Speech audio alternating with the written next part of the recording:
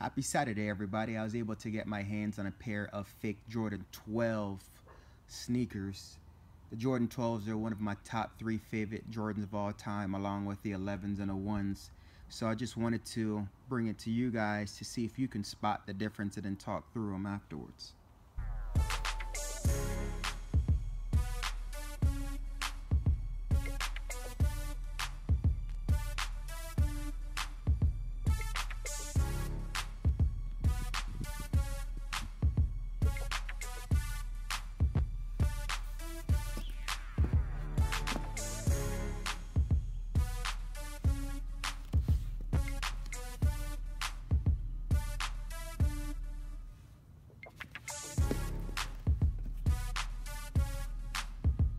Alright, so we got the Jordan Flu Games on the left and the black and red or bread colorway.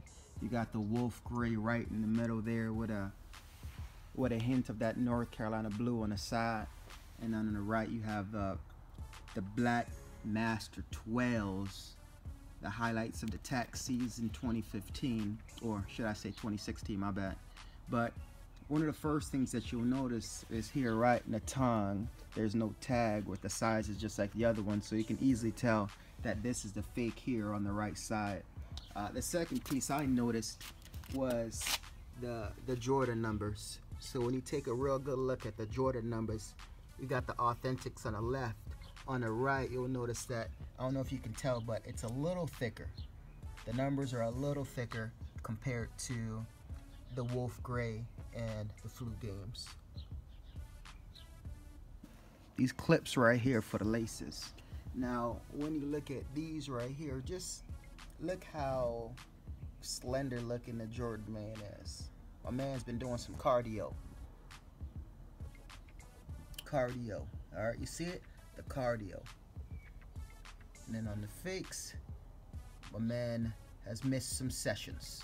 The man's been on the couch eating chips and dip. So a little more weight on the fakes here. A little more weight.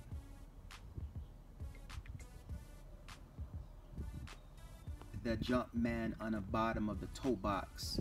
So you'll have to look real good for this one. So if you can tell, the head on the jump man is rounded on the flu game. Same thing here in the wolf gray. And yes, my shoes are worn. I wear all my shoes.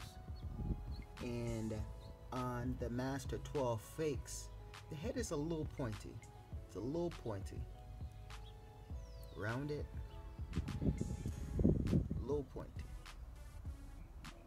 Now to answer the question, should I spend a little extra money or maybe a lot of extra money to get the authentics over the fakes? I'm gonna say absolutely. Absolutely. The quality difference is just amazing and, and it's such a, a big range that not only for show but for your own well-being you want to rock something that's going to be comfortable and looks real nice and there's no expenses cut you know for you know a couple of dollars. So if you ask me if I'm gonna throw some extra ones at the cashier to get the authentic Jordans you already know so, you know, I picked these up to show the comparison. Easy answer here. Go for the authentics. I'm your boy Don. See you in the next one. Peace.